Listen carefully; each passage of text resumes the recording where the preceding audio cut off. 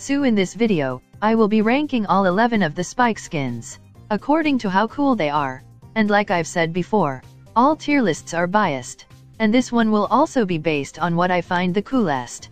I've already posted the tier list for Crow and Buzz. Check them out if you want. And now without wasting any more time.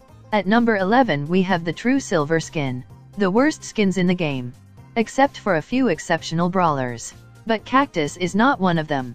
Then at number 10, we have the default spike. And this skin is exactly what you would expect it to be. A living cactus who throws spiky balls. Nothing more, nothing less. Then at number 9, we have the mask spike. Exactly same as the regular spike, except it wears a mask which changes on different brawler each time you enter the battle, making it one of unique skin. Coming to number 8. And there we have the true gold skin. And I don't know what's with this gold skin, but it looks extremely good. I had put him on rank 10, but when my eyes met with this gold beauty, I had to put him higher.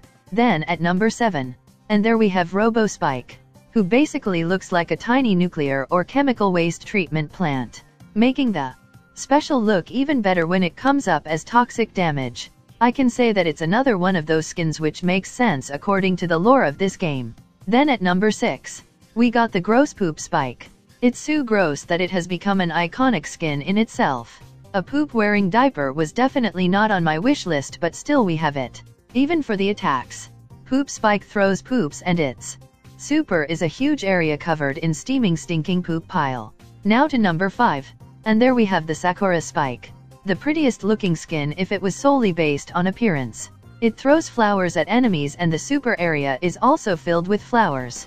So it comes in the tier of best looking skins now. Then to number 4. And there we have Pyro Spike. And sole reason for him being this high is, that he throws fireballs. His super is a bit fire pit.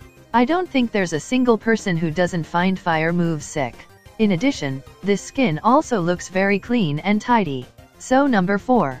Then at number 3, we got the Wintry Logmas Spike.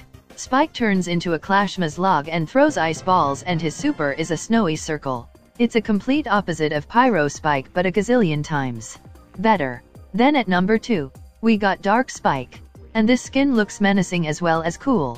Especially because Spike does those blue balls attacks and his super is just a big dark circle with spikes in it. Which looks very awesome. But not as cool as our number 1. As there we have Toon Spike. And this spike is full of craziness. It got a cute, two-dimensional looking model. And an equally good look. Attack. For his super, he throws a toony cactus which makes a hypnotizing circle of doom. And maybe it has hypnotized me but still it goes to rank 1. And with that the list is concluded. I hope you liked this video. Thanks for watching and just keep grinning.